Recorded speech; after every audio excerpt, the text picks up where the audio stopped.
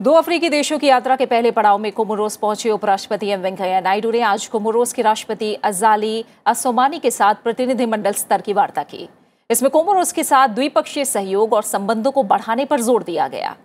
उपराष्ट्रपति एम वेंकैया नायडू ने कहा कि भारत ने हमेशा अपने विकास से जुड़े अनुभवों को कोमोरोस के साथ आपसी लाभ और समृद्धि के लिए साझा करने का प्रयास किया है। बैठक के बाद दोनों देशों के बीच रक्षा, सहयोग समुद्री सुरक्षा, फार्मा और स्वास्थ्य के क्षेत्र में समझौतों पर हस्ताक्षर किए गए। अफ्रीकी देश कोमोरोस की यात्रा के दूसरे दिन उपराष्ट्रपति एम वेंकैया नायडू ने राजधानी मोरोनी में वहाँ के राष्ट्रपति अजाली असौमानी के साथ प्रतिनिधिमंडल स्तर की बातचीत की। इस दौरान दोनों देशों के बीच आपसी संबंधों को मज़बूत बनाने पर चर्चा हुई।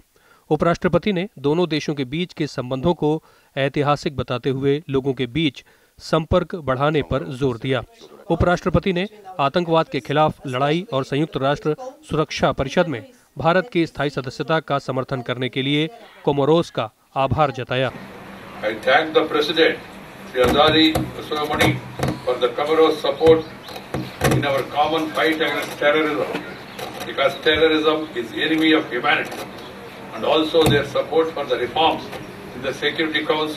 And its continued support to India's candidature for a permanent seat in the United Nations Security Council.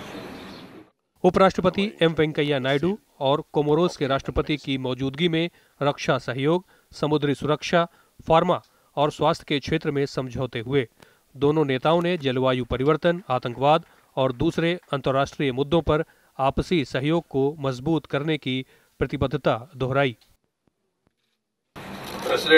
Azari and I were happy to witness signing of some important agreements. We have signed MOU on defense cooperation. We have signed important agreements on health and culture.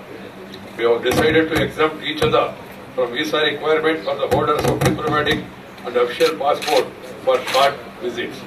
Let me share with you, Comorian citizens have already been granted a visa facility by Government of India.